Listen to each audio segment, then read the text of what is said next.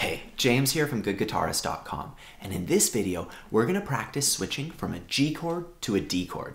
Chord switching is one of the biggest hurdles for beginning guitarists, and the reason why we're just switching between two at a time here is because we want to emphasize the switching, going between two chords, so you're making the same shape over and over again. Because if you just hold a shape down for a while, you're not really making the shape, you only made it once, and then you're holding it.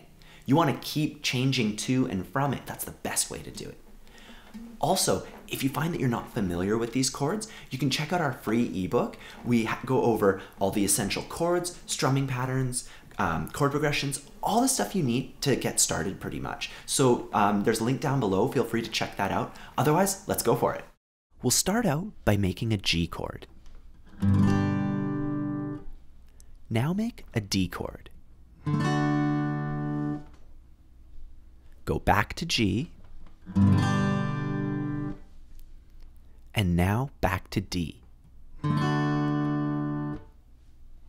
You may have noticed that these two chords share a common finger.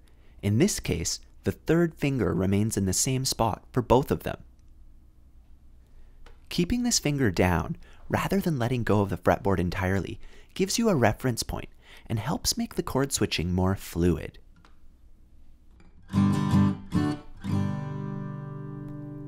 Now that we know how to switch between these two chords, remembering that they share a common finger, it's time to practice switching and start building our muscle memory.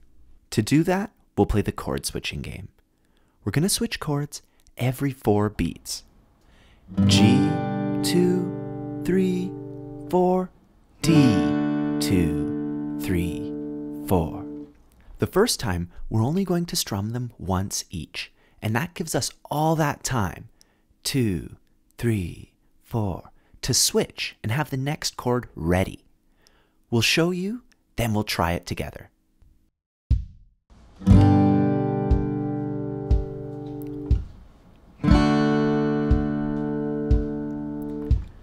G, switch, switch, switch, D, switch, switch, switch. Now let's try it together.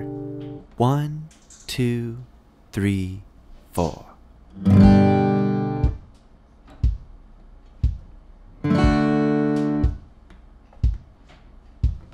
G, switch, switch, switch, D, switch, switch, switch.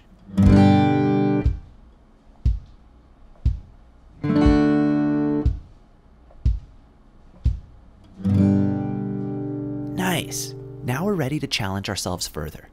We'll strum each chord twice now, leaving just three, four to switch. Like this G, G, switch, switch, D, D, switch, switch. So let's try that together. One, two, three, four.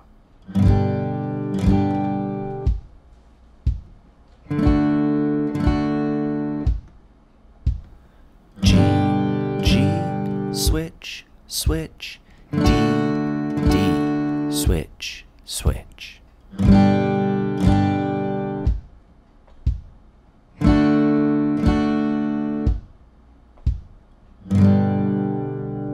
Great. Now we'll play each chord three times and only have beat four to switch on. Here we go. One, two, three, four.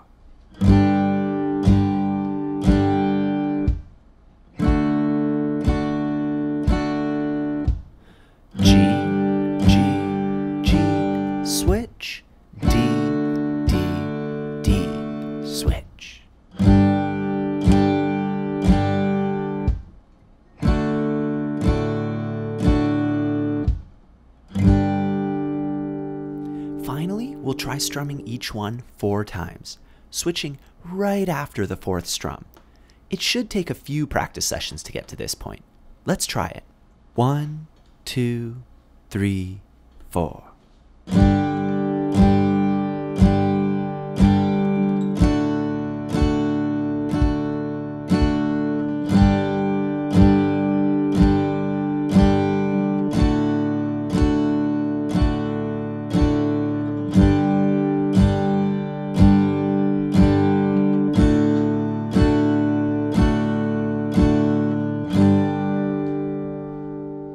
So it's really important that you don't let yourself get discouraged here, especially during those last few exercises where the switch has to be made pretty quickly.